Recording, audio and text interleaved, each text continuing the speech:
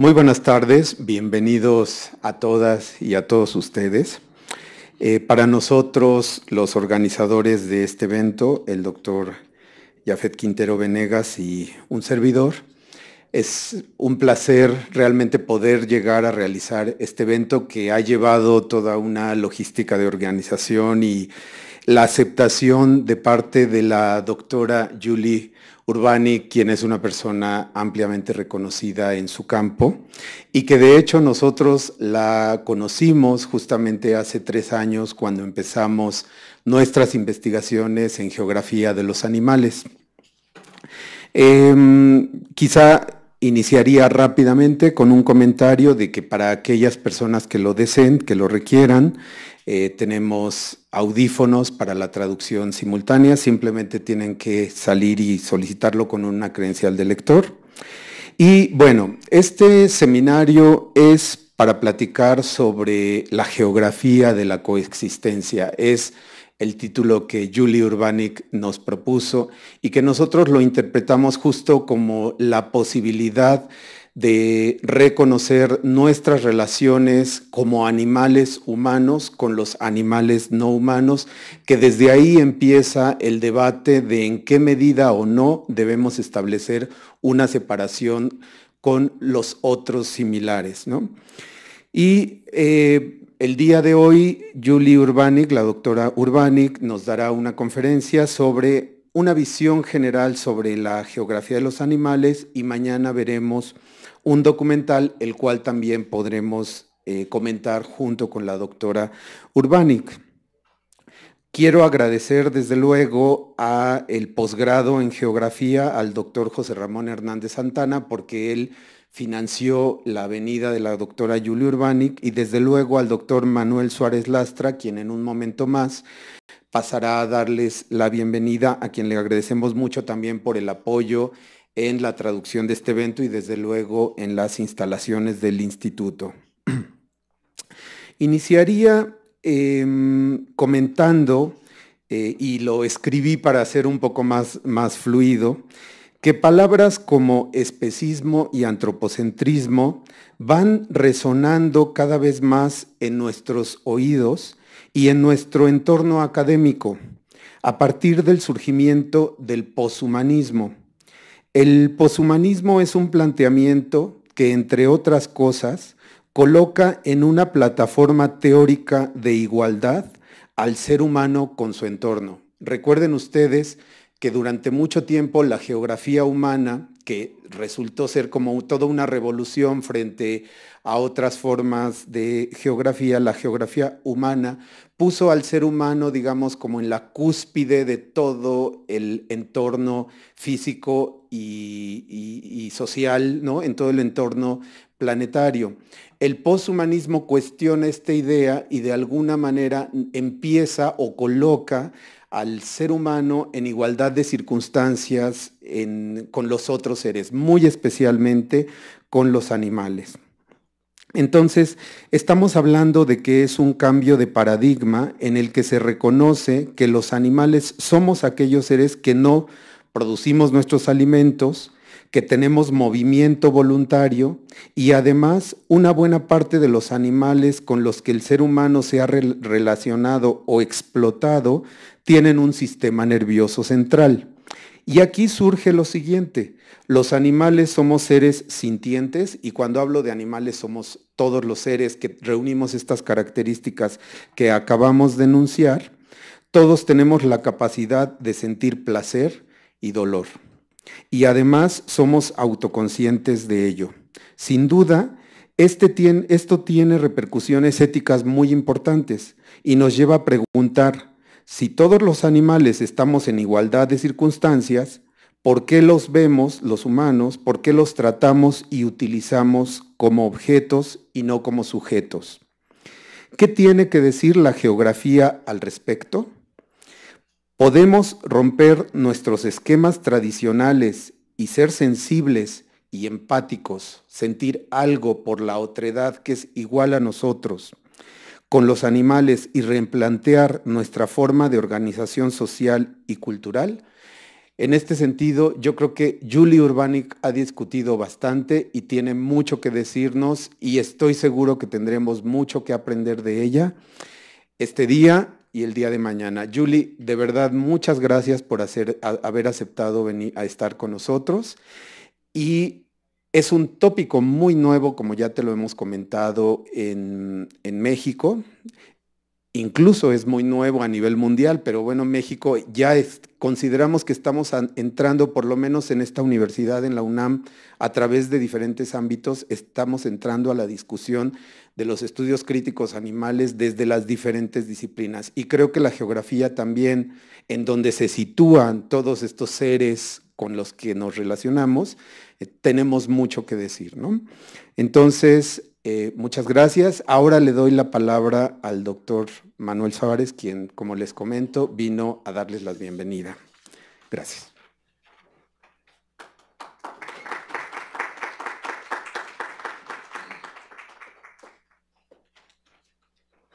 Hola, pues muy buenas tardes a todos, muy buenas tardes a todas las personas que nos están viendo por, eh, por streaming, que además entiendo que son un buen número de personas, además no solo de México, sino de diversas partes del mundo. Quiero, eh, bueno, primeramente darle la bienvenida a la doctora Julie Urbanic por estar aquí. Thank you very much, Julie. Este, y, y en especial le quiero dar las gracias al, al doctor Álvaro López, y, a, y, y al doctor Jafet Quintero por la organización de este seminario.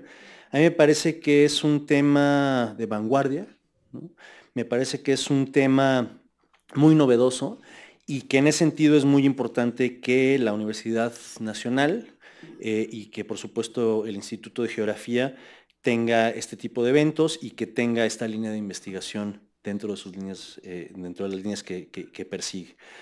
Eh, me parece muy interesante eh, que nos planteemos después de siglos y siglos de una convivencia, por supuesto, con, el resto del mundo este, animal, eh, y que haya pasado tanto tiempo en darnos cuenta desde el punto de vista de la geografía que hay una serie de relaciones que tendríamos que reexaminar.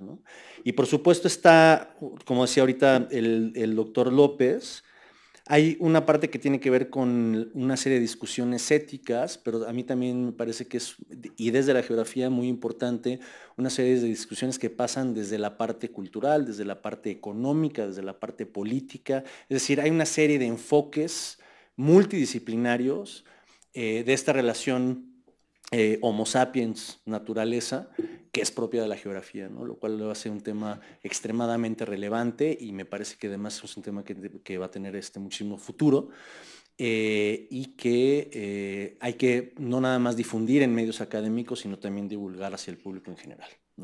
Y eso se lo vamos a encargar a Marco Miramontes, que se encarga de esa parte. Este, entonces, bueno, sin más, creo que Jafet, tú nos vas a dar unas palabras también. Entonces le daría la palabra eh, a Jafet. Nuevamente quiero dar la bienvenida a todos, académicos, estudiantes y a todas las personas que nos ven por, por streaming, este, con la esperanza de que, eh, bueno, estoy seguro de que la conferencia de la doctora Urbanic va a ser una, conferencia de la cual vamos a aprender todos muchísimo. A mí me encantaría poderme quedar a la conferencia, pero desafortunadamente tengo que ir a hacer otras labores bastante más aburridas que, este, eh, que lo que sería estar aquí, que realmente me interesaría mucho, pero bueno, ni modo, eso me toca a mí. Entonces, bueno, pues muchas gracias y bienvenidos.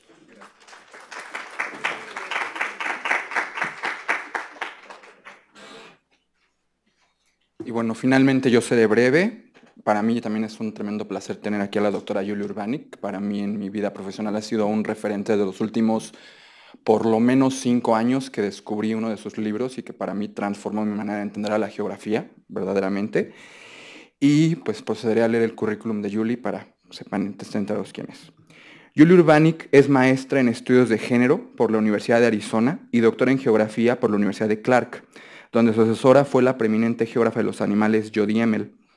Ha dado cursos sobre geografía de los animales en programas de geografía y de estudios sobre el medio ambiente y ha asesorado proyectos de investigación y licenciatura y posgrado sobre el mismo tema. Además de publicar artículos académicos, capítulos de libro y reseñas de libros sobre geografía de los animales, Escribió el libro galardonado Placing Animals, An Introduction to the Geography of Human-Animal Relations, que es este de aquí, y coeditó la enciclopedia Humans and Animals, A Geography of Coexistence, este de acá. Este año publicó y coeditó un número especial de la revista Society and Animals sobre el tema de conservación entre humanos y vida silvestre a través de los estudios humanos animales. También produjo el primer documental sobre geografía de los animales, Kansas City, an American Zoopolis, y fundó el grupo de especialización de geografía de los animales de la Asociación Estadounidense de Geógrafos, la Association of American Geographers. Además de su trabajo sobre geografía de los animales, la doctora Julie Urbanic es la directora de la Coordinate Society, una pequeña organización sin fines de lucro enfocada en actividades artísticas basadas en la geografía y trabaja también como consultora legal de geografía social.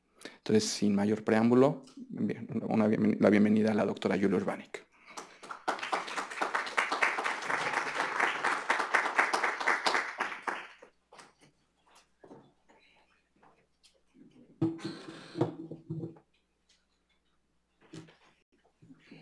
Hola, buenos dias. Thank you, gracias to Jafet and Alvaro for inviting me and making this talk possible today. It's a great honor for me to be here to talk about one of my favorite topics, animal geography. And while the talk title itself is in Spanish, it's really going to be the only Spanish that you see today because unfortunately I don't really speak any Spanish. I'm going to try and say one word and it's probably going to be terrible. I apologize in advance. But please feel free to let me know if I am speaking too fast for the translator because obviously I want you to hang on every word, right? So while this is my first time here in Mexico City, I have been to Mexico. I've been to Nogales and Tijuana, of course, but also Loreto. And I also met my husband in uh, San Carlos, which is just outside of Guaymas in Sonora State. And that's also where he proposed to me. So I do have a very soft spot in my heart for Mexico. But now that I've been here to UNAM, I feel that I can say I've truly been to the heart of Mexico, right? So go Pumas. I don't know how you say that in Spanish, but go Pumas. And I just wanted to add that I've also been blessed here by a little Mexican mini Puma.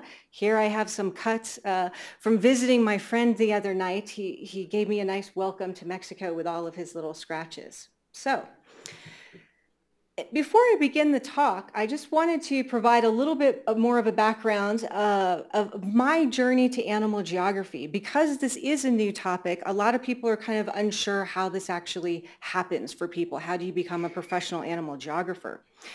And if we go back, I think it's safe to say that I probably grew up just like everybody else did and that is surrounded by animals. I mean, I grew up eating animals, wearing animals. We had all different types of pets. We went to zoos and parks, and we had wildlife around us. Uh, you know, we had toys and watched TV shows. You know, animals were really just a very large part of our life. But I had a little bit different childhood in that I moved a lot, and that um, allowed me to see what it was like, what people and animals were like in different places. And I think it was all of this traveling growing up that helped me to become a geographer, but I didn't really know that was something that you could even do. The microphone, right here? It's not loud enough? Is that better? Closer. Okay. Closer. Okay. Okay. That's okay. Okay. Okay. So just point to me again. Oh, I can hear myself now. That's probably better. Okay. All right. So I didn't realize that geography was something that you could do uh, as a full profession until I got to the University of Arizona, where I was doing my master's in gender studies. And there's a very large and very renowned geography program there. And when I discovered it, I said, this is it. I am a geographer. And I just, I never looked back. I found geography about the same time that I found out that you could actually think about animals in an academic or an intellectual way. And this was also the same time that I was coming to somewhat of, I guess, an animal advocacy consciousness. And I was doing some work in the community, helping um, on food issues and, and helping with pet adoptions and things like that. So I was fortunate to do, then go on to do my PhD at Clark University, where the chair of my committee was Jody Emel, and she was is literally one of the co-founders of the subfield of animal geography. So it was really a tremendous opportunity to get to go and work with her. The field is, was still so new, however, when I was doing my work that we had to get special permission for me to be able to study my topic. And I think I was the first person in the United States that was actually able to go and do their specialty in animal geography in a PhD program. Uh, so that felt like a real breakthrough both for Jody and for myself. Um, and so while I have worked on a variety of projects as an animal geographer, I'm most proud of these three right here. And I hear that some of you, uh, besides Jafet, have actually tried to read Placing Animals in English. Thank you for doing that. Uh, we've talked about trying to get a Spanish translation. Uh, but this was uh, the first book that actually synthesized the field for a non-academic or an undergraduate audience. And so in that way, it was an important contribution to how animal geography was developing. What are the topics? What's happening? In 2017, I did publish a co-edited volume with Connie Johnston, which is the first encyclopedia for a lay audience that looks at 150 different topics around the entire spectrum of human animal studies. So it, we could be looking at elephants or invasive species or meat eating. It's just, it tries to really give um, people a great introduction to each individual topic. And then like uh, they said, I just this year published a special issue in Society and Animals, which in English is really like the preeminent um, human animal studies journal. And we did a special issue on human wildlife conservation. And so we collected a group of articles looking at human wildlife conservation from different academic perspectives to find out where we can overlap, how we can work together, what kind of methodologies people were using. And finally, in 2009, with Monica Ogra, we founded the Animal Geography Specialty Group of the uh, uh, Association of American Ge uh, Geographers. There's a lot of acronyms there I have to try and remember, right? I put the website down here. Uh, it's a tremendous resource if you are interested in the topic of animal geography. There's bibliographies here. You can look at our newsletters and kind of get a sense of who we are and what we do. But the important thing about establishing the specialty group was that it gave us legitimacy within the larger American Geography Association. And so really within that association, all big specialty groups exist and sort of legitimize themselves in that way. Right? So finally, I wanted to bring in a bit of direct animal energy here. And so I will let you see who helped me uh, with my presentation today. I serve these three cats in my house. Uh, this is Lenexa and Freya and my guy Bubbles. Uh, and so they cried and meowed and had hairballs and, you know, shed all over everything while I was preparing my talk. But it also feels like an important thing to do is try and get some sort of liveliness, like these other beings and their energies into the room when we're trying to talk about animals. And so, you know, I couldn't bring them with me. They would freak out, right? Uh, I don't know how freak out translates into Spanish, but, uh, but here they are anyways, their little faces. They make me happy. Hopefully they'll make you happy, right? So what I want to talk with you about today is I'm going to talk about two things. We're going to talk a little bit about what animal geography is. We're going to look at the history of it and answer that question. And then we're going to look at a couple of case studies looking at the theme of borders. A lot of us that have taken geography classes, human geography classes, are really familiar with kind of this concept of political borders, you know, whether, you know, and how we distinguish human groups in a political sense or in a social sense. And I'm going to talk a little bit about what that looks like within the field of animal geography as well. So when we're thinking about the history of animal geography, we're going to kind of walk through its development to understand a little bit about how we have shifted in our thinking about what it means to think about other species. So prior to the formalization of geography in the academy around the turn of the 20th century, Western geographic work on animals, I mean, all the way from the ancient Greeks, all the way through sort of European explorers and colonialists, followed more of a cataloging and descriptive method of talking about other species. And animals were often simply listed as just, you know, one of the many things that were being found in different areas. But with the establishment of geography within the uh, sort of the academy, as the academy was developing at the turn of the 20th century, we get what we can understand here as the first wave, and that's what that says, animal geography first wave, which we call zoogeography. And within this wave, the focus was still on accumulating uh, and cataloging other species. But now we are really trying to understand the spatial distribution. We're really getting into some of that regular geography there. And so what we have is really a focus on wildlife. And this is, gives you an example of what one of these maps looks like from the time. This is from a 1911 Atlas of Zoogeography by Bartholomew Clarke and Grimshaw. This is actually a stunningly beautiful atlas. It's about this big. It's a double page spread for each map. Um, I covet it when I see it at our local science library all the time.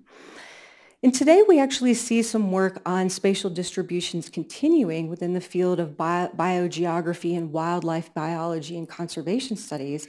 And people sometimes will use these maps still in order to kind of study historical distributions of different types of wild species, because we do have some of these very amazing records from 100 years ago now.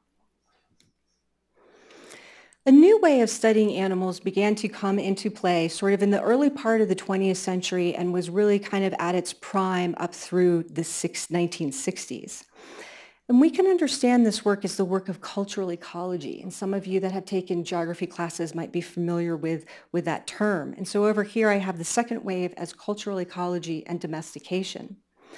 So if the focus of the first wave was on wildlife and spatial distribution, cultural ecologists, following the work of American geographer Carl Sauer, began to study how human groups, including their domesticated animals, change the physical landscape. And so they did this in both a historical context with works like Seeds, Spades, Hearths, and Herds, which is actually very difficult to say, uh, by Carl Sauer, where he examined how sedentary animal herders in Mexico reshaped the landscape through their grazing patterns, through the ways that they actually enclosed their animals to protect them from predation. Uh, and then also in, the, in a little bit more modern time, this is, they were looking at this in the early 60s, we have this book, A Ceremonial Ox of India, by a very famous geography couple, the Simoons. And in this, they were exploring the uses and symbolic meanings of the mithan ox in northern Indian cultures. Now, geographers at this time began to recognize that the study of human-environment relations must include the manner in which humans domesticated and used animals, both as an impact on the landscape, but as part of social groups' cultural identities. But what's important to note here is that the animals were not being studied so much in and of themselves. They were still being studied really as tools um, or just there as, as, as emblems of different types of human cultures.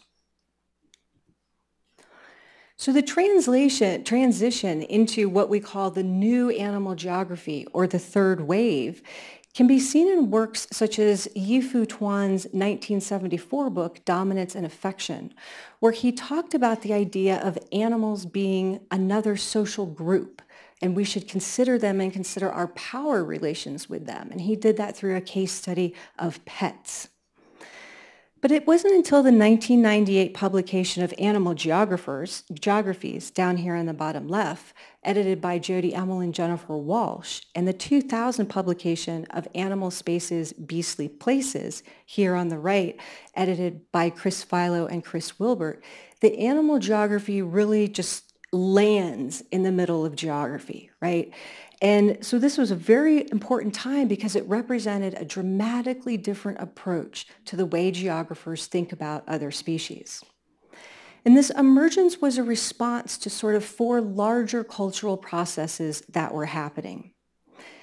The first one, animal advocacy here, was the increased rise of kind of public nonprofit organizations that were promoting the humane treatment of animals. Organizations like the World Wildlife Fund, uh, you may have heard of, or the Humane Society, or PETA, kind of People for the Ethical Treatment of Animals. And so they were doing a lot of exposés and a lot of public campaign work that was getting our treatment of animals into the public eye. Within the academy, we were getting kind of from the 70s, 80s, 90s, all the way into today, a tremendous increase in scientific understanding of human impact on the environment across the board. That includes on all types of biodiversity, right? And on the oceans, on terrestrial environments, right? And also from within the different parts of the natural sciences, we're also getting a lot of new knowledge about animals themselves and learning these ideas. Oh, do animals recognize themselves in the mirror? Are they self-aware? Can we communicate with them in different ways? Some of you here can think of, um, you may know Coco the gorilla.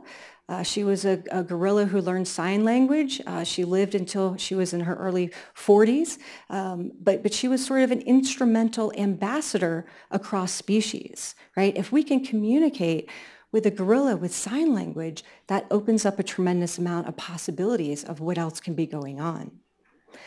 And within the, the other side of the academy, the social sciences and the humanities, during the same time period, we're getting a shift in thinking about what it means to be a subject. And we're getting an expansion of discussion about women's issues, sexuality studies, indigenous rights. Uh, and, and so the whole uh, thrust of history of who gets to tell history and who gets to be a political actor is really coming wide open uh, from philosophy, from anthropology, from political science, right? And so we are also breaking apart this, what we think of as a modernist view of humans as being separate from nature. And we talk about this as the nature-culture divide, right? Where humans are on the side of culture, separate and away from nature. So that's starting to shift during all this period. And finally, just the larger increased cultural acceptance of animals animals are everywhere. I mean, I've only been in Mexico City for a few days and, I, you know, you can't walk five feet without seeing some sort of animal related image um, or food item or piece of clothing or something like that, right? But we've seen a huge rise in the pet culture. We have now Animal Planet and National Geographic TV, which again helps spread uh, the idea that Disney movies, I mean, who doesn't love to cry at a Disney movie because some sad thing happens to an animal, right? So all of these changes are contributing to this idea that, wow, we really need to sort of break into this idea of what's happening with these animals. And so the new animal geography poses this direct challenge to what has been largely an anthropocentric or human-centered approach to the world within geography. And so animal geography uses sort of the normal topical categories of politics, economics, ethics, human environment relations, questions of subjectivity, and the key foundational concept tools of geography, place, space, scale, landscape, and power to actually uh, have a dramatically new way of seeing animals. And so what separates this new animal geography from the first two waves is the dramatic expansion of what we actually see when we look out at the human-animal landscape or just the animal landscape. So it's no longer just the wild animals with the tigers or just the farmed or domesticated animals with the pigs right here, right? But we're interested in what's happening with pets, what's happening with working animals, laboratory animals, what's happening with culture and identity? Why do you have a puma as your mascot? I mean, other than they're awesome, right? But there's a whole history here that geographers can really begin to explore. And the second most important uh, piece that Alvaro touched on was this idea that animals become subjects now. They're no longer objects. We're interested in who they are and what does that mean? How do we get to know them? So this is a very brief tour of history of animal geography, but we can end here with this definition of animal geography as the study of where, when, why, and how non-human animals intersect with human societies. Feels like you're kind of important when you quote yourself like this during a talk, right? But at this point in time, the subfield itself is actually dramatically expanding. There are multiple edited volumes now. There have been multiple special, special issues of all of the key academic geography journals. There have been papers that have appeared in all the American and European journals. And again, I apologize, I don't know the Latin American journals here. Um, but we have a very, very active subfield. And the directions that animal geographers are moving in right now uh, means that you actually are beginning to specialize within the field of animal geography because because it is actually expanding so quickly. And so I wanted to take this sort of history of animal geography and move into a discussion of the theme of borders. And you know, I can't resist a cat meme. I'll look at any cat video you have at any time. Uh, but I thought I would introduce the idea with borders with this meme right here, which reads, what if the human is not my pet, but I'm his? And anybody who knows cats knows how horrifying that might be, right? But it really actually gets to the heart of what I'd like to ask us to think about today. And that is, which side of any situation are humans and animals on? And where are they on these different sides? So the question of borders becomes so important. And I decided to focus my talk in this way, first of all, because as it turns out, when I was thinking about it, I actually do do a lot of work on different types of borders uh, within animal geography. And so I do have a personal interest of when and how and where animals or humans are in and out of their right places. But two, the topic of borders has been at the uh, forefront of recent political debates in the United States that some of you may be aware of with our election and the issue of immigration uh, in coming across our borders. And the discourse and practices of our, the US government right now are really calling into question who counts uh, as members of the American community and how are they being seen and talked about. So I'm going to discuss this theme of borders in three ways. We're going to look at the macro scale of the borders of humanity by looking at this case study of the US-Mexico border issue, controversy, nightmare, however you want to talk about it. Uh, but then we're going to move to the scale of the urban to explore who counts as members of a city. How do we set the boundaries of what happens with other animals in these urban spaces where we are? And finally, I'm going to turn to the local neighborhood scale to look at how people negotiate relationships between individual humans and individual animals. So we turn first to what I have called here the borders of humanity. And I begin with a quote from the, our US president. It says, these aren't people, these are animals. And this is a quote from one of his rambling press conferences back in May of 2018, where there was slippage in whether he was talking about migrant people as a whole or if he was talking about the MS-13 gang specifically. But regardless, this phrase jumps out at me as an animal geographer because what does this mean, right? They are not people, they're animals. So let me state up front that there are a lot of people in the United States that feel like this. This is Trump inside a prison, and the caption reads, the wall that will, quote, make America safe again. Okay? So one of the reasons that people in the United States are very frustrated with Trump, among many, is the way that he has not only talked about, but taken action regarding people trying to enter the United States from south of the border, but also from Islamic countries. So I'm not going to discuss sort of the many directions of his stances, the legality of his actions, the socioeconomic issues facing people trying to get into the United States, much less the role of the United States in their country of origin, or the issues around the border wall itself. I mean, we could spend the rest of our lives really talking about all of those topics. I want us to stay focused on that phrase. These are not people, these are animals because it gets to the heart of how animal geographers are trying to break open the boundary between humans and other species and why it is so important to do, to do so. So what is the problem here? And uh, on the one hand, we have the, excuse me, we can think about this problem in two ways. The first line here I've written boundary, humans is not animals. And the second line reads, don't treat me as an animal. The third line reads, how to think about this boundary making. So they're not animals, don't treat me like an animal. Let's take a look at another cartoon. So what we have here is a woman representing America, and she's facing a dog in a cage. And the caption reads, oh my God, this cruelty must stop. But she has her back to children in cages, and that says across the top, USA migrant child detention which I think probably a lot of us are aware that this is an ongoing uh, problem in the United States. So what we have here on the one hand is the US president saying these aren't people, these are animals.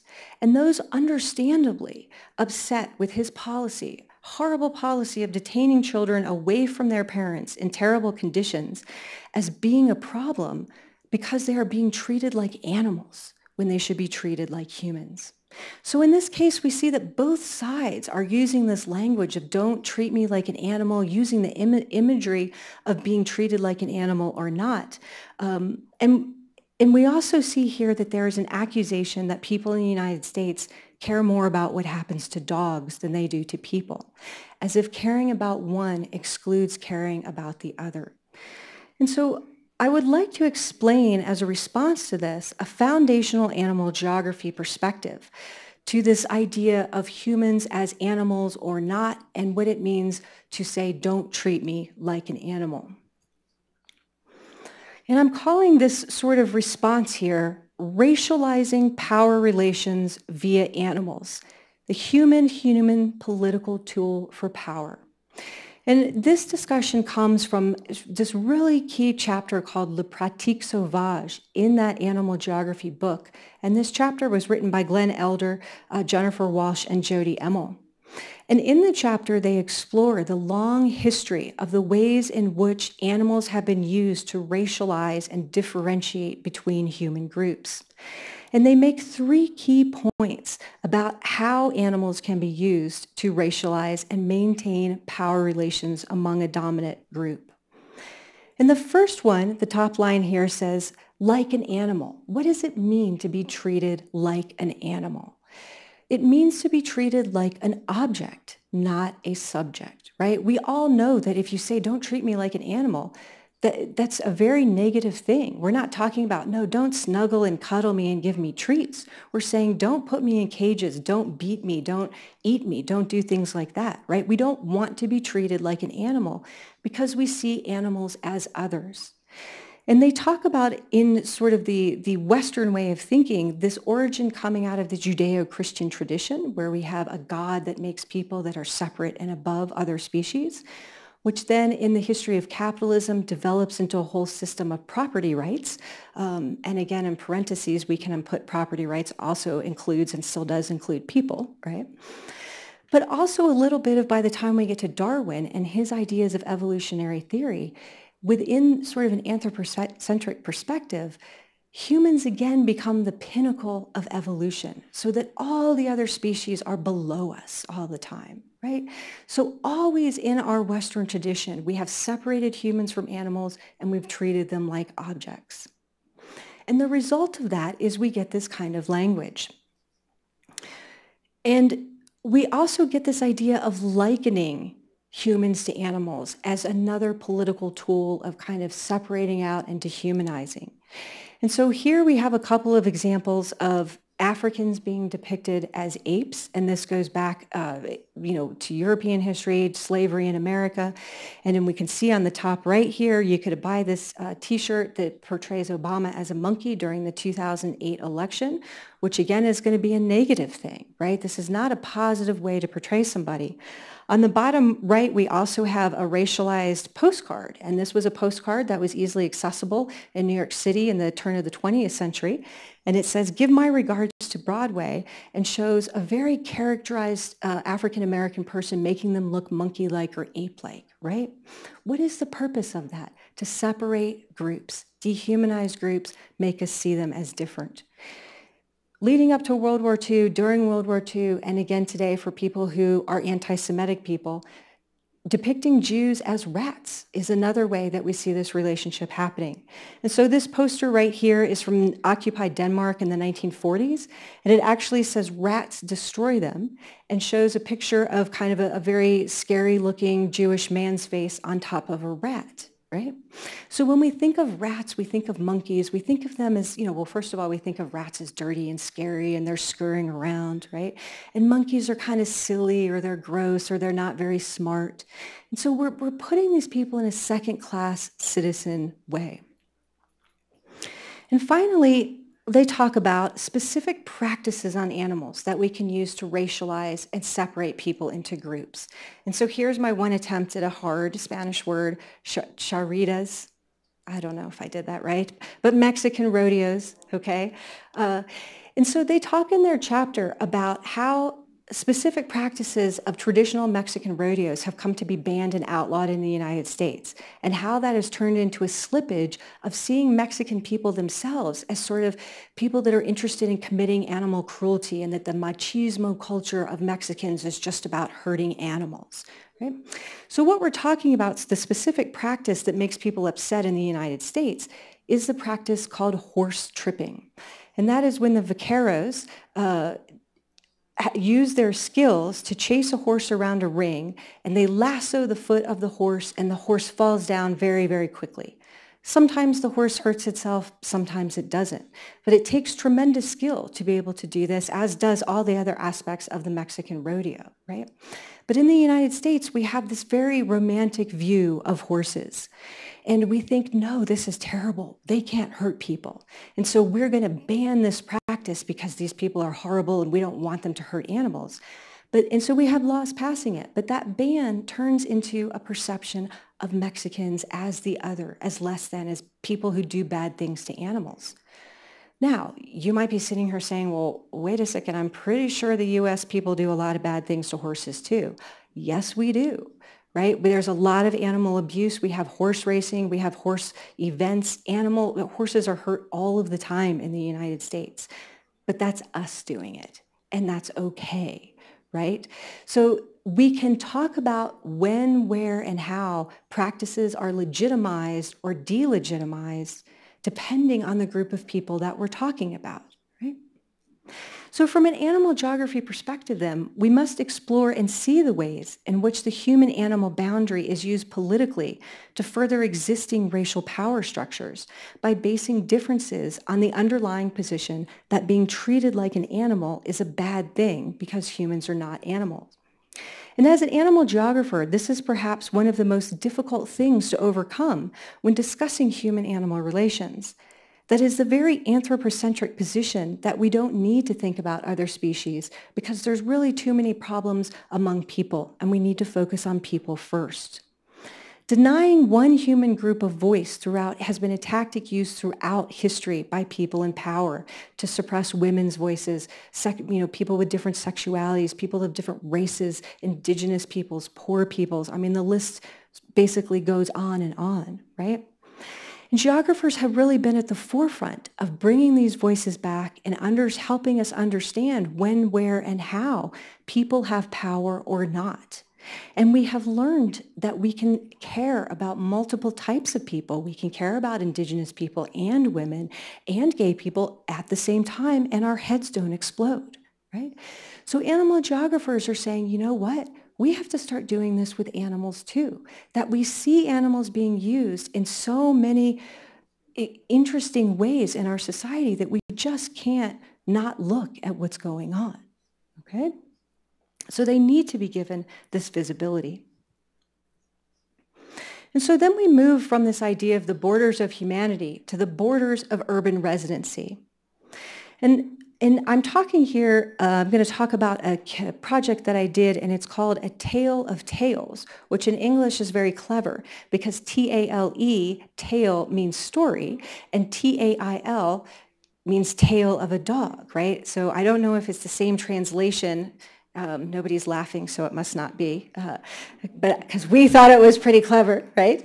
Um, but our study looked at the politics and the boundary making around dog parks in Kansas City. And this really helped us get a sense of, of how animals become boundary markers in urban spaces. And what does that mean for a multi-species city? And so the project was a, was a, a, real live case study of Jennifer Wolch's theoretical work calling for recognizing urban areas as, as, as zoopolises, cities of multi-species rather than just cities or polises, which we see again as, as mostly human. And she presented a three-part framework for how we should look at cities as multi-species places. First, by studying how animals are linked to urban identities. How do people talk and think about animals? And the second is how do animal people conceive of animals being in public spaces? What are spaces used for? And finally, how do animals figure into the moral construction of a city? What kind of a city do we want to live in?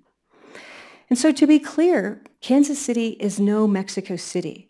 The metro proper is about 480,000 people, and the urban region is about 2 million. The population is about 60% white, 30% African American, 9% Hispanic, and along with just a whole slew of people from other places. It's the 23rd largest city in the United States, and it was founded in 1830. So almost as old as Mexico City, I think, right? Um, the animal control estimates that there's somewhere around 100,000 dogs living as pets in the city, and we also have a population of feral dogs uh, that inhabit the entire urban space. So I moved to Kansas City in 2008 and spent the next few years getting to know the city and learning about the different animal-related organizations and issues that were happening there. And through this basic curiosity, I became aware of a very complex and heated event uh, that actually occurred when I first moved there, but that I didn't end up finding out about until later. And it was a huge political controversy about opening a new dog park in one of the neighborhoods in the city. And a dog park, for those of you who don't know, is a place where you can take your dog and let it run around like a crazy dog that it is, off leash uh, in some type of public place. They can be in public parks. Some people have private dog parks, um, but, but that's what it is. And I thought, because I'm a dog lover, don't tell my cats, right? But who would have a problem with a dog park, right? That seems like a great idea. I feel happy just thinking about dogs running around, right? So what, what we found, I did this with an undergraduate student of mine, is that this is an amazing story about boundary making and who gets to be a member of the city. And so let me just give you a little bit of spatial, spatial background here. What we're looking at in this particular map, you can see the blue outline. That is, gives you a sense of exactly where Kansas City proper is.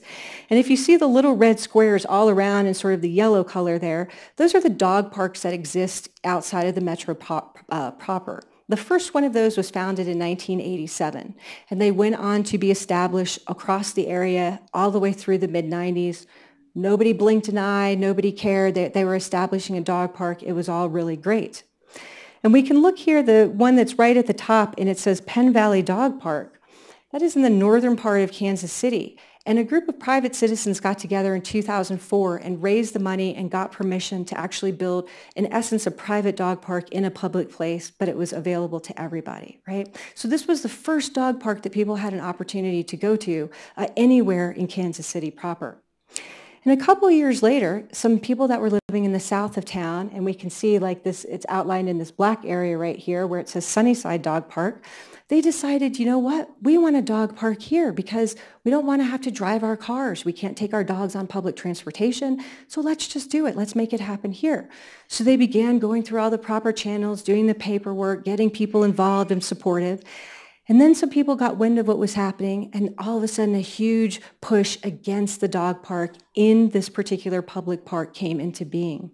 And this particular park is a large park itself. It has a lot of amenities. There's playgrounds, there's basketball courts, there's tennis courts. So people are doing a variety of things and they wanted to use one small part of the park. Ultimately, the political uproar about this got so bad that the mayor had to intervene, and he actually developed what's called, was called the Dog Park Task Force. The Dog Park Task Force spent two years studying the establishment of dog parks in Kansas City, looking at best practices from other ur urban areas and saying, look, we probably need to figure this out. This is something that people wanted to do. And the end result was that they actually agreed with the dog park proponent group to say, yes, you should build it in Sunnyside Park because there are existing amenities that make it much, much more cost effective. But the politics came back into play because the mayor's dog park task force still had to go to the Parks Board. And the Parks Board ultimately overruled the task force and moved the location of the dog park away from this park to a park that had no amenities, no parking lots, no lights, no water system, no fence, nothing, which meant that the cost was going to be so prohibitive the park would never get built. So it was a huge loss uh, for, for, for all of the proponents of a dog park. And when we began um, asking questions about it, I, was, I wanted to understand how the human-dog relation was being constructed by residents. What was the heart of this resistance? Um, and what do residents see as the place of dogs in Kansas City? So we collected data from three main sources, interviews with key individuals involved in the controversy. We did an analysis of public comments. Uh, we did a media coverage analysis and a small-scale survey of a random selection of Kansas City residents. And from that, we took that information and coded it back into the themes of Jennifer Wolch about human identities, ideas about morals and ethics, to see what, what actually happened. And so we found that the main controversy and the way that people were framing the problem was that they had very different urban identities. There was a very large population that said, we have a more than human family, right? And that's how we define family. We, we look at our dogs like our kids. In fact, our dogs are our kids for a lot of people, right? I mean, the amount of stuff people have for their dogs is basically as much as people would have for a baby or something, right? So there was a huge boundary between who saw their family as a multi-species entity or who saw their family as consisting of only human beings with a dog or a cat is just sort of an appendage. That was nice and we fed it, but it just was over here right? So we had this breakdown in identities and people were very adamant about if they were dog people or kid people. And if you were a kid person, it didn't matter if you liked dogs or not. Kids were better than dogs. And it was very, very militant voices in this way. As far as the animals in the urban places went, we saw this translation from the concept of a more than human family to the idea of more than human parks that we need to have urban spaces where our multi-species family can actually go to. So it makes sense if we have playgrounds and tennis courts and walking paths and basketball courts where families can go, then other people should be able to go and have a place and, a, and something to do with their dog. And so this really exemplifies uh, the anti-dog park people, and this was a flyer that they in fact used to try and get people to resist the park. And it says, silly dog, parks are for people. Don't let the park go to the dogs. Say no to Sunnyside Dog Park. And we can see right here some echoes of kind of this idea of they have this huge group. They're all large dogs. There's no little dachshunds or little poodles over here, right? Sort of this invasive, scary force of the pit bulls and the Rottweilers of the dog world. And the only good dog is a little tiny one over here on the leash. So they were just adamant that dogs do not belong in public urban spaces to the point where they produce, were producing these kind of posters. And finally, in terms of the moral view of the city itself, we saw people that supported the dog parks as framing the city as a more than human space, that Kansas City needed to get with the times. All these other cities have all these dog parks.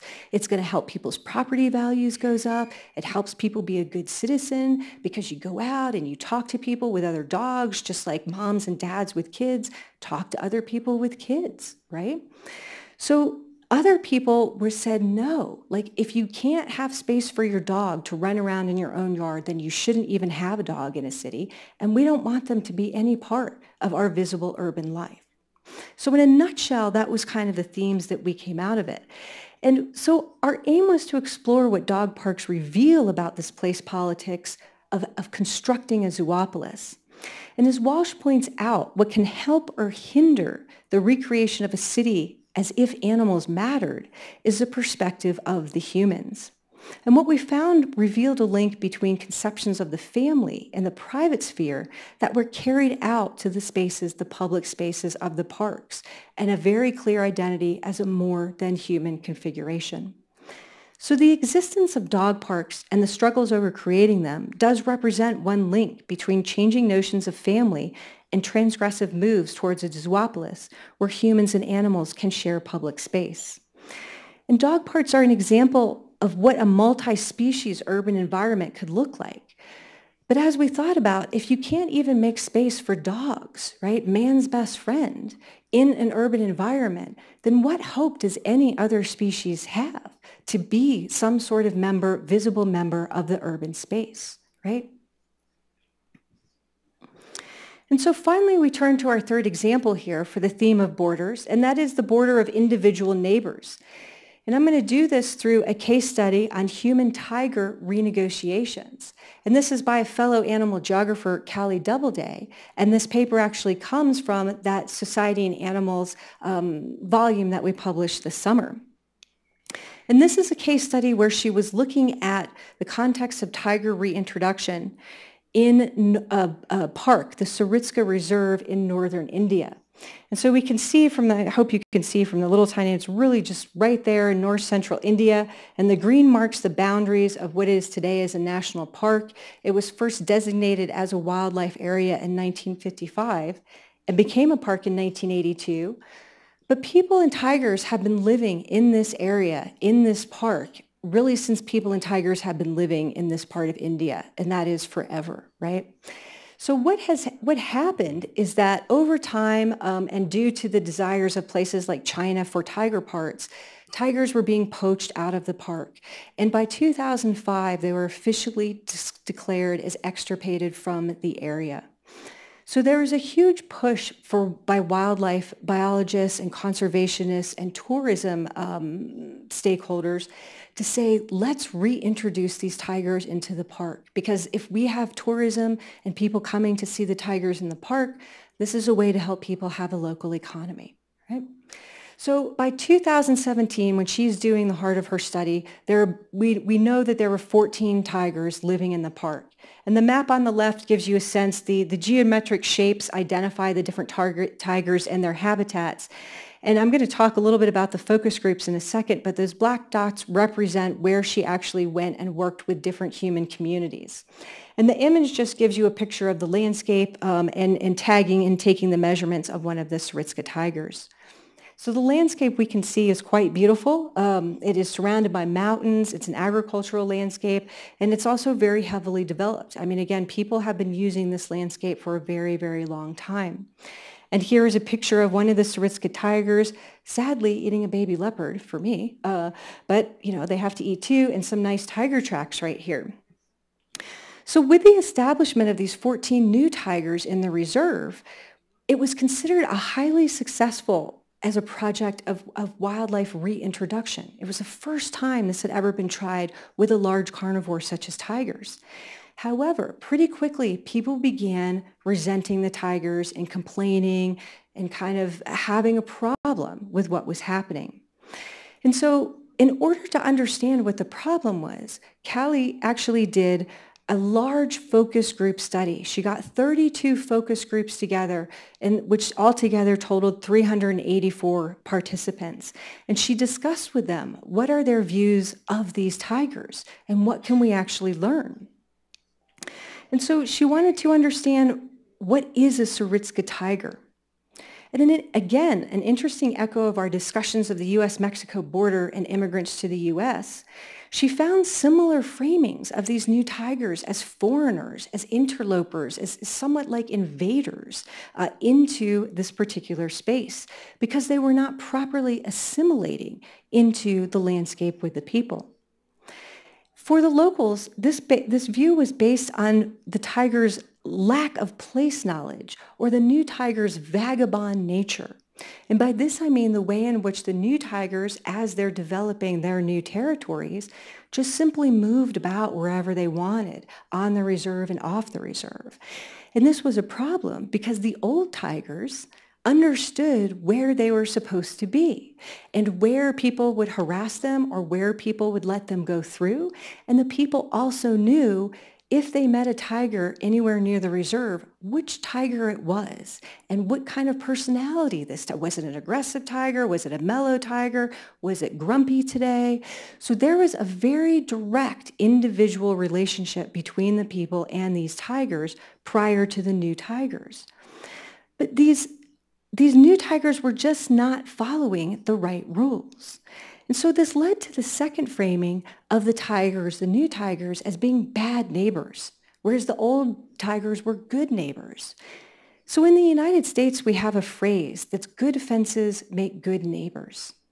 And what this means is that you have your space, I have my space, and we have our boundaries. And there's not going to be a problem as long as you're not coming into my space, right? So the new tigers they didn't understand this. They didn't understand you're supposed to give way if a human is supposed to be coming through, or you're not supposed to just tramp through somebody's house area in the middle of the night or any of, or, or any of this kind of thing. The local people were very clear that they had no problem living with the tigers themselves, But these tigers were just really bad neighbors. It was like you have a neighbor that's just playing their radio full blast 24 hours a day. They don't understand what their relationship is.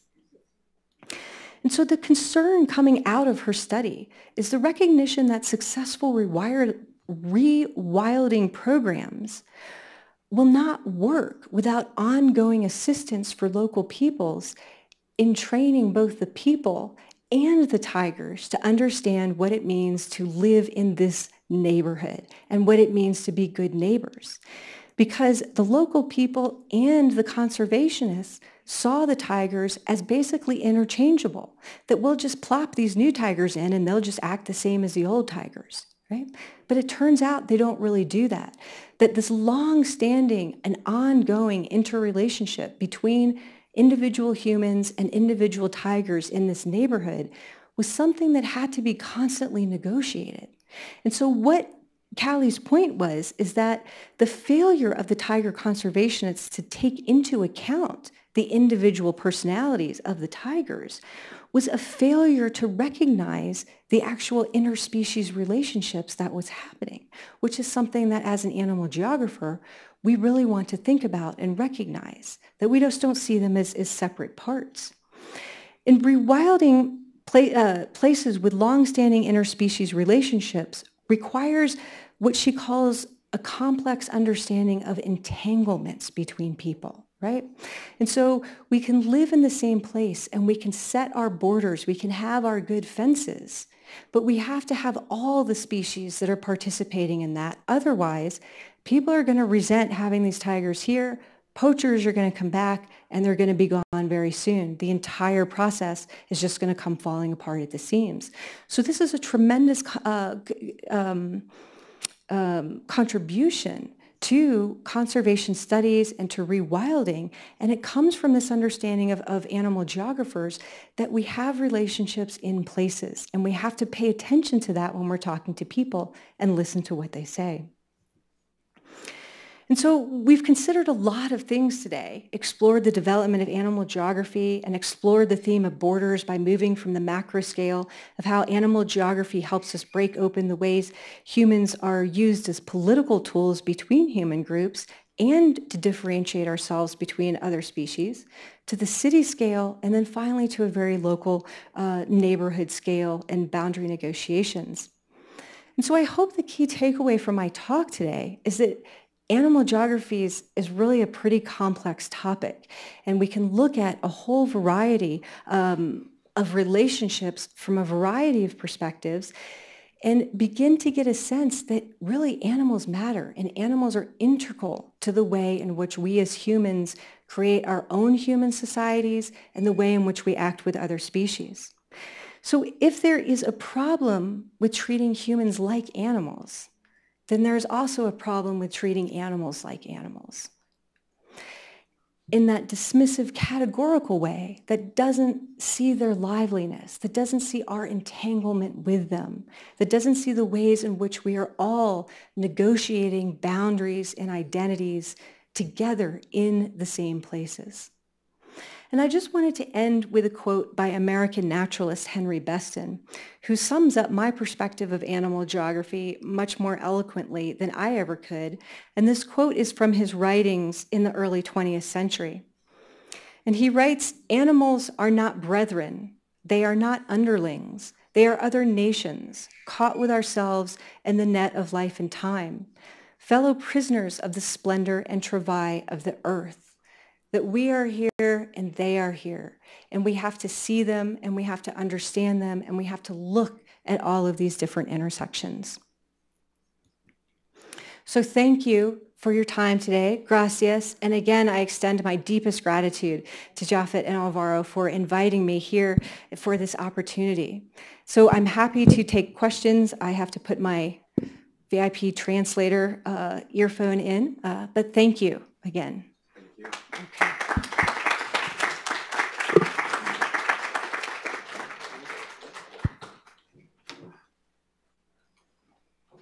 Muchas, muchas gracias a la doctora Urbanic. Vamos a abrir una sesión, eh, tenemos un buen número de, eh, una buena cantidad de tiempo para comentarios, para preguntas Y eh, pues les pediría que en general tratáramos de hacerle las preguntas en español para que no se tenga que estar quitando eh, los, los, em, los audífonos. Entonces, si alguien quiere comentar algo, si alguien quiere preguntar algo, o mientras alguien se anima, eh, a mí me gustaría preguntarte algo, eh, Julie.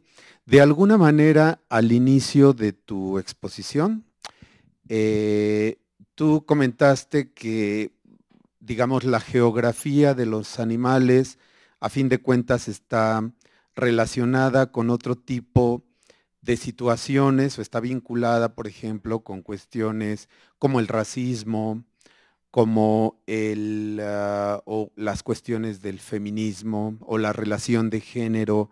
Hay un vínculo.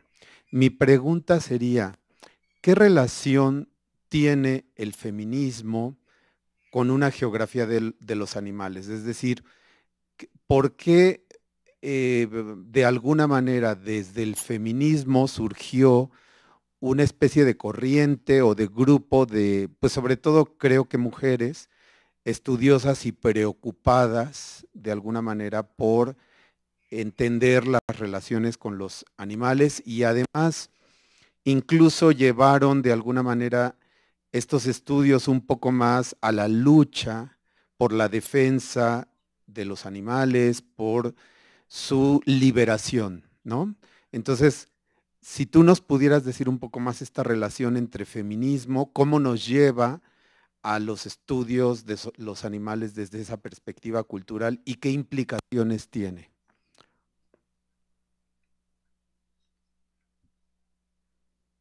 Oh, he finishes. How much time do we have? Uh, bueno. Uh, I'm, just, I'm just kidding. Okay. Um, is this is this on? Yeah. Okay. Okay. So to, that's a very important question because the connection between feminism, I'm sorry, I have to turn this down. I can't listen to him and answer at the same time. You can take out your, ah. Take this off? yeah. Okay, I'll take this off for a second. Okay, that's better. Okay.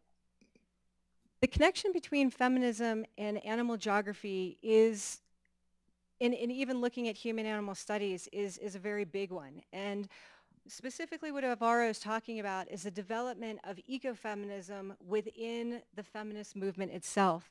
And ecofem, the project of ecofeminism is to look at the ways in which systems of power extend from human groups to the natural world. And ultimately they say, look, if we want to change social relations among groups of people, we have to change social relations between people and nature and other species.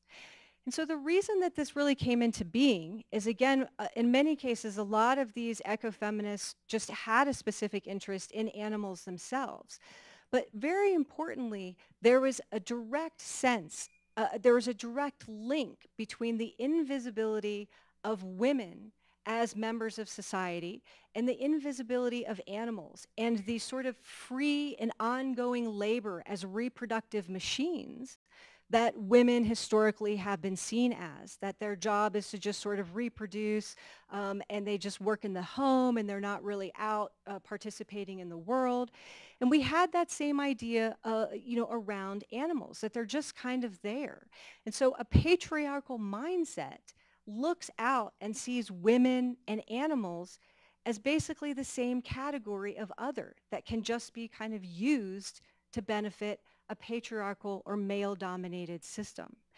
And so that was kind of their entryway into thinking about it and their fundamental contribution to really, I would argue, feminism as a whole, but also to thinking about animal issues, is that these systems are interconnected, that we're not going to end oppression or mistreatment among different human groups until we actually honestly look at the way we're treating non-human groups.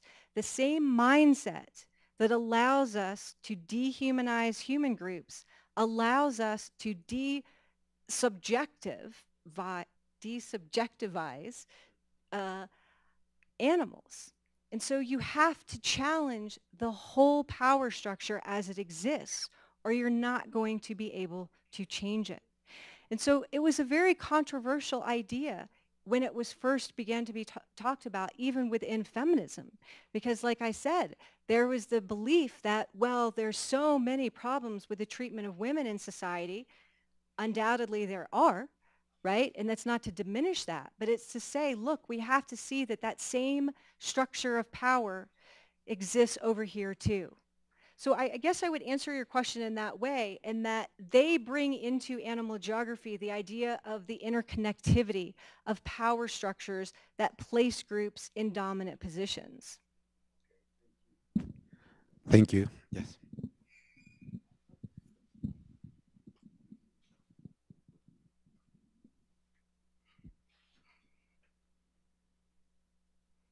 Muchas gracias, Julie.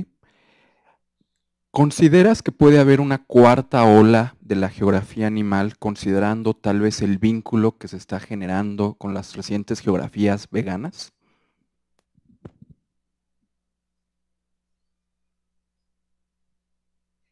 Sorry, I did I missed the question.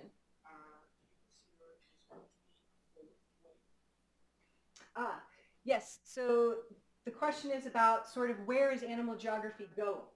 Uh, do you consider that there could be a fourth wave of animal geography linked with vegan geographies?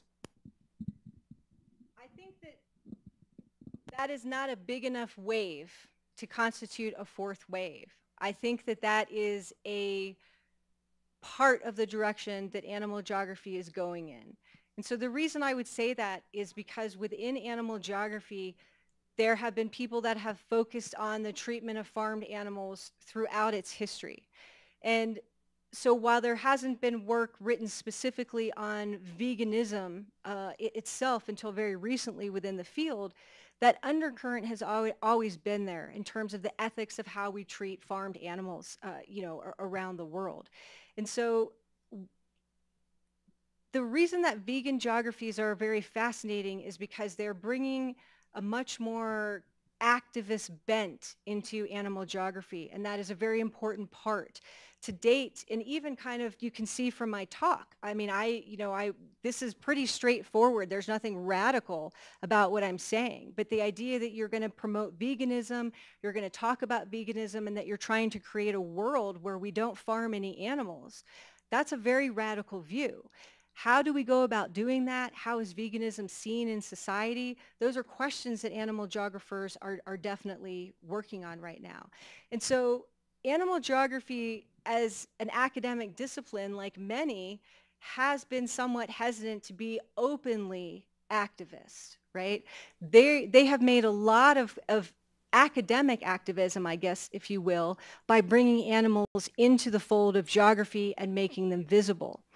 But this idea that if you're going to say that all animal geographers must be vegan to be a legitimate animal geographer, uh, that's going to be a very difficult discussion to have with a lot of people within the field, right?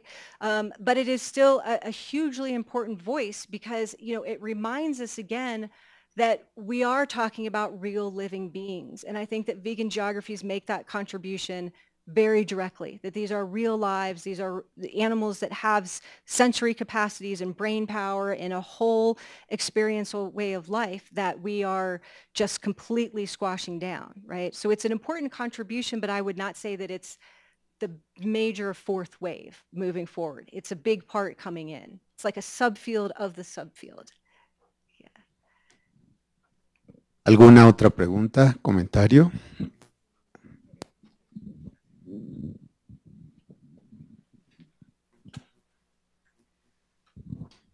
Hola. Bueno, eh, durante toda tu exposición tú nos hablaste de problemas con animales, digamos, cercanos al ser humano o en relaciones de convivencia con el ser humano, los perros, los tigres, ¿no? Pero este, mi pregunta es si se han hecho estudios con animales que no son agradables para el ser humano, no sé, cucarachas, ratas o algún otro tipo de animal. Y en ese sentido, eh, para acercarte al estudio de la geografía animal, eh, ¿cuál consideras tú que es la forma más adecuada de hacerlo? ¿A partir de un problema que relaciona a los seres humanos con otros animales o a partir de un animal específico?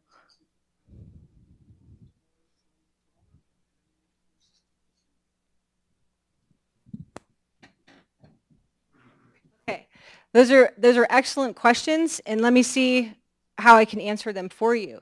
So the first question as to what different kinds of species are being studied is, is a very important one because you're right, and today I talked about the easy animals, tigers and dogs, right? Um, and as animal geography has developed, the types of species being talked about has slowly expanded, although there is still a preference for the charismatic animals and the charismatic mammals, right? But we are seeing really important work done on species like octopus, uh, species like fish, and the interaction between fishermen and the fish in rivers and how they actually communicate with each other. Um, and the octopus is helping us understand the consciousness and the abilities of other species. And it's also in the study that was looking at the octopus, it was talking about how we just sort of look at octopus and then we see them all the same. We don't see them as individuals, but this is an individual. She had her preferences for what she liked to eat and not, uh, or not. And so that was important because I think it was really the first invertebrate study um, in animal geography. And so the question of things like insects or even something like mosquitoes, right? Uh, you know, th things like that has not really come into animal geography yet, although, I mean, people are touching on it. And I think that, you know, there's a couple of reasons for that. First of all, I mean, who doesn't like a tiger? Right? So who doesn't want to work on tiger issues? It's, you know, not very many people have a strong affinity for cockroaches, for example, right? So it's kind of the, just the personal biases really of the researcher. It's also the accessibility of what do other aspects of the academy know about these other species. And we're learning so much about other species from wildlife biologists, from animal behaviorists now, that, that we as geographers can expand our studies out to these other species. Um, because, you know, we're trying to look at it from spatial, place-based dimension, we're not fully trained as zoologists yet. And that's part of the discussion of talking about these animals is, is what authority do we have? What authority do I have to talk about them, right? And do I need to be trained as a zoologist to talk about a dog or a tiger? Um, and so how do we negotiate that methodologically? So briefly, that's how I would answer that question is that it, there's just a tremendous amount of work to be done. I mean, and, and we know there's what, like a million and a half species on the planet or something like that. So I think that there's a lot of room for up and coming animal geographers to find, to find their, favorite, their favorite animals. And so now I'm forgetting the second half of your question. Um, do you guys remember? A partir de esa pregunta es, um, ¿Tú consideras que es mejor empezar un estudio sobre geografía animal con un animal en específico que, le interese a cada individuo? ¿O este, considerar una relación estrecha entre seres humanos y un animal para iniciar un estudio así?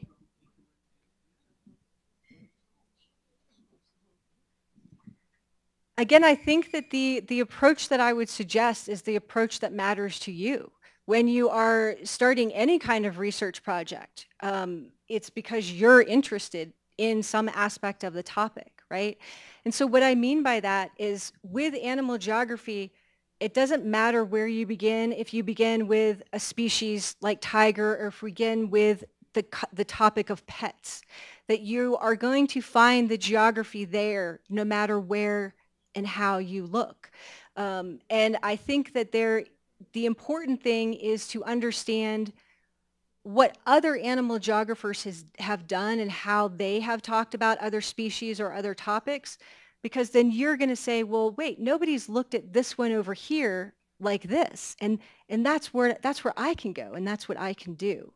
So it's just, there's, it's just, you just enter it, and it's, and it's all there. Basically, it's just wide open at this point.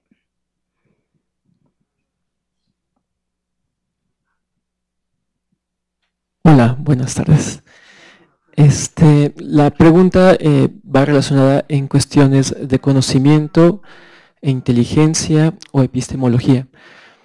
Em, hay muchos estudios en donde han encontrado indicios o muestras de inteligencia en diversos animales, lo cual lleva a discusiones de qué es el conocimiento eh, y, la inteligencia, digamos. Eh, en ese sentido, quisiera preguntar si dentro de la geografía este, hay algunos eh, autores que manejen la temática de cómo reconocer el conocimiento espacial en ciertos animales y eso asociado a cuestiones como de inteligencia o de epistemología. No sé si se entiende la pregunta.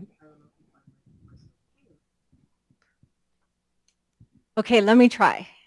Okay. So your question has to do with we're starting to learn that animals have intelligence and a consciousness that sometimes may be similar and sometimes may be different from us. So the question is, how are animal geographers studying that? Is that correct?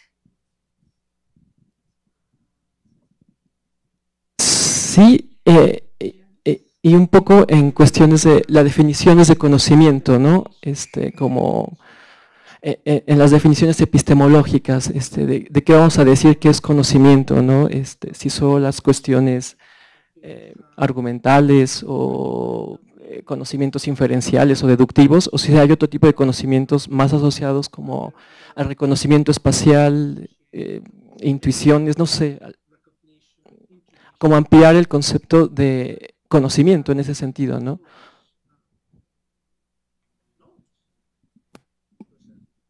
If I understand what you're saying, and, and hopefully I do, you're talking about are there different types of knowledges that we are learning about and thinking about with other species? And I think I would answer that question by talking about the ways in which geography, um, in sort of its, as it moves into a post-humanist mindset, that we are starting to think about other ways of knowing the world and we're starting to move into thinking about our own human senses right? And, and how we are affected by the world. And so when we turn our, when we start looking at other animals, that is really the first question that we do have to think about is, is what knowledge do they have? How do they express who they are as their species? For example, I mean, dogs use uh, their ears and their tails and, and everything for their communication and their noses tell them way more about the world and how they think, and, that, and it tells them about how they think than, than for us as human beings. And so we're getting into this idea of how do you access the knowledge that other species have in geography. And how that has been happening um, is by trying to enter into our senses, to get out of our brains into our senses to try and enter into their experience. And so it is still remains like a very like human-centered process to try and, and, get out of our heads and, in, and into another species. But at this point, it's the best tool that we have. Um, and there are a few geographers doing that, but that is one of the methodological challenges. And again, that's partly because we're not really trained as zoologists or ethologists with, uh, or, um, you know, animal psychologists with a deep understanding of, of how individual species, how their brain structures work or, or what their sensory capacities are. Um, so I'm not sure if that, if that gets there, but we can keep talking about it. Okay. Eh, pensaba, por ejemplo, en el ejemplo de los elefantes, ¿no? Que conocen los, eh, los lugares que recorren y son vastos, ¿no?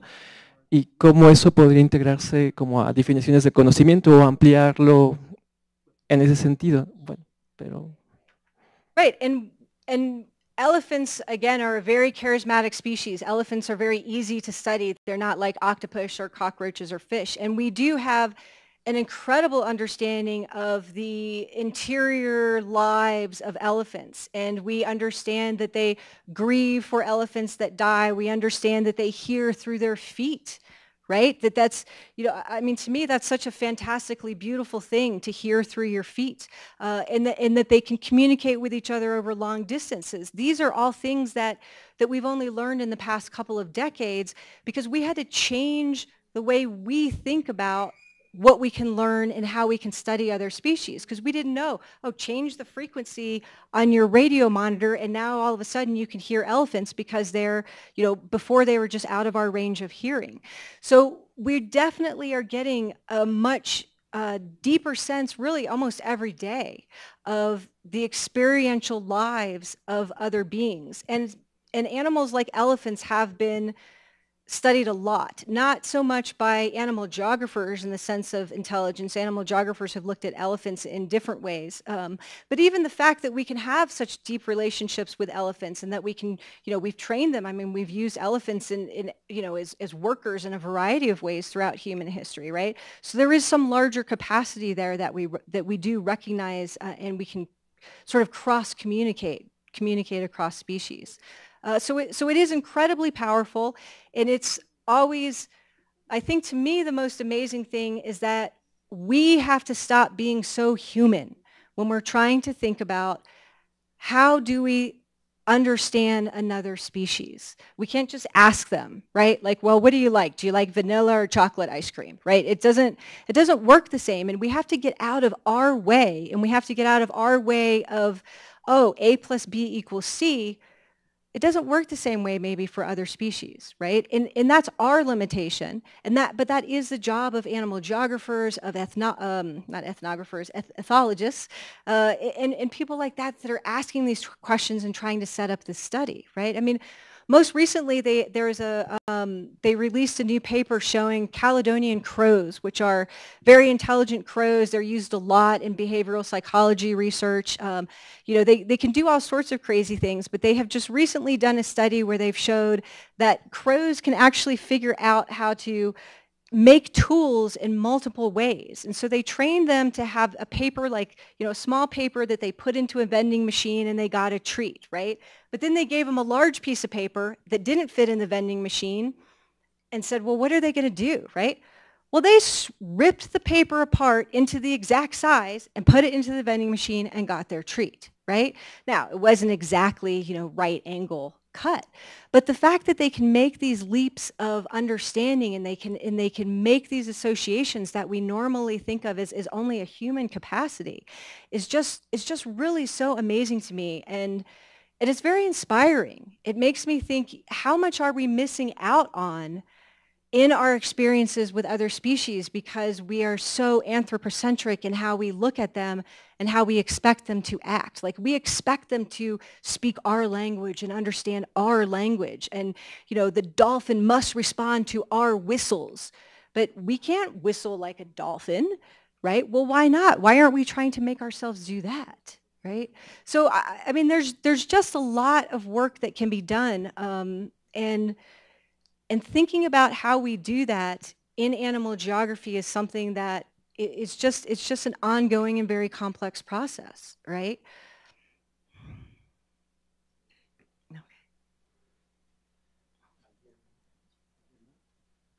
Bueno, pues ya prácticamente estamos terminando, pero no me quiero despedir. Ah, oh. ah sorry. ok, ok. Ya prácticamente estamos terminando. Eh, pero no me quisiera despedir, eh, Julie, sin preguntarte algo y en consideración con que la mayoría de las personas que están aquí son estudiantes, más o menos yo tengo la respuesta o por lo menos la estoy construyendo, pero creo que sería muy interesante eh, comentarlo para con los estudiantes.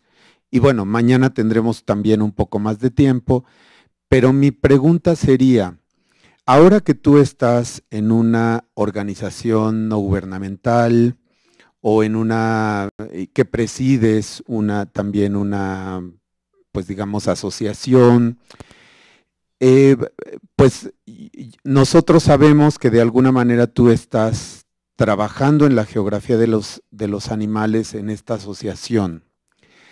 Eh, ¿Cuál es tu aporte como geógrafa o los, los y las geógrafas, cómo nos podemos involucrar en el estudio de la geografía de los animales. Muchos eh, profesionistas, desde filósofos, biólogos, eh, desde antropólogos, en fin, creo que geógrafos estamos involucrados en un interés por, por comprender las relaciones que nosotros mantenemos con ellos y cada quien hace un aporte. ¿Nosotros qué aporte hacemos? Te lo pregunto de una manera diferente ahora. En estas asociaciones en donde tú trabajas, ¿qué te solicitan? ¿Qué te piden aportarles? ¿Qué te solicitan? Y como geógrafa, ¿cuál es tu aporte dentro de, dentro de tu rama, que es la geografía de los animales? Es un poco amplia la pregunta, pero va en el sentido como de ampliar la visión de la relevancia que la geografía tiene en estudios críticos animales. Okay, that, that very last part helped. Okay, all right. So what specifically is the contribution of geographers to the larger kind of animal studies project? Did I, is that, yeah. okay. And that to answer that in a shorthand way, I would say that geographers are just so adept at understanding complexity and complexity uh, in place, right? And, and for me, geographer is, geography is about location. Why does something happen here? Why is it not happening somewhere else? And so if we're thinking about even some, something like veganism, right, we can look at the sort of geographical development of veganism. And that is a huge contribution that nobody else from any other perspective is really going to look at. The spatial distribution of vegan groups. Why would certain religious groups be vegan or not? What, it, what is the history the geographical history of all of that, right? So to me, that is what we are bringing to the table. We're bringing to the table the understanding that these relationships are happening and they are relate happening in places. Whether those places are visible or invisible, they're still happening. And it's our job to sort of disentangle that and bring that all to the forefront. So, you know, philosophically, you can have people talking about, um, you know, maybe talking about the idea of speciesism and really bringing that to the fore um, and doing that, the philosophical theoretical work. But what geographers bring to the table is what does that look like on the ground? right? where do we see speciesism in practice? It's great. We can kind of have a great intellectual discussion and sit around and talk about it but we want to see it in the world. And so to me, animal geography is about the, the real world and about where, right? And, and it's very surprising to me when, you know, I read work by, you know, just in the larger human animal studies community, how invisible the geography really is. You know, they, they have a, we need to end factory farming, right? Well, we don't even know where factory farming is even happening right? What, what is it really, okay, it's terrible. Well, is it more terrible or less terrible in some places? Like, let's break this apart a little bit. And so geographers, because we are so good at both categorizing things and then resynthesizing them, I think that that's really the greatest strength of geography, that that's what we bring to the table for the rest of the Human Animal Studies project. So you can't talk about animals or human-animal relations without talking about where it's happening and yet that's actually what has been done, right, in, in, in other places. So I, that's the short and, shorthand answer to that question. Okay. Bueno, muchas gracias. Para, nos vemos mañana para los que tengan la intención de ver el documental que Julie Urbanic justamente realizó. Más o menos es un documental de media hora y la intención es observar el documental y ella nos hará algunos comentarios y poder hacer una discusión ya con un estudio de caso muy específico que ella realizó en Kansas City. Entonces están muy cordialmente invitados e invitadas. Gracias y me gustaría que despidiéramos a Julie Urbani con un aplauso.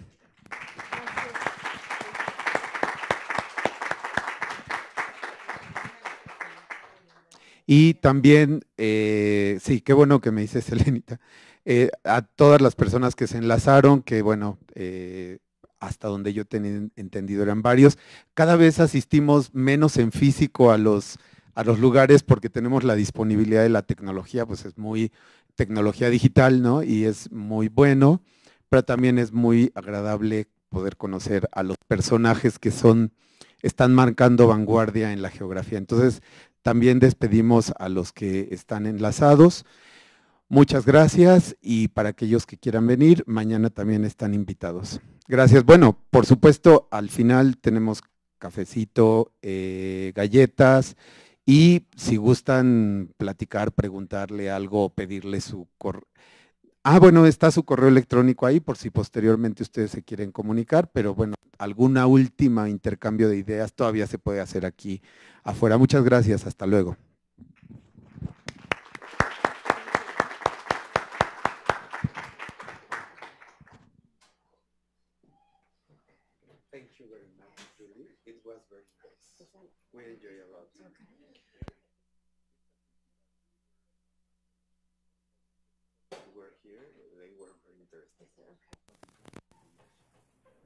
That's what everybody's always shy. But that was okay. Okay, okay, thank you, thank you. The No, it's very good. I appreciate it. the documentary with.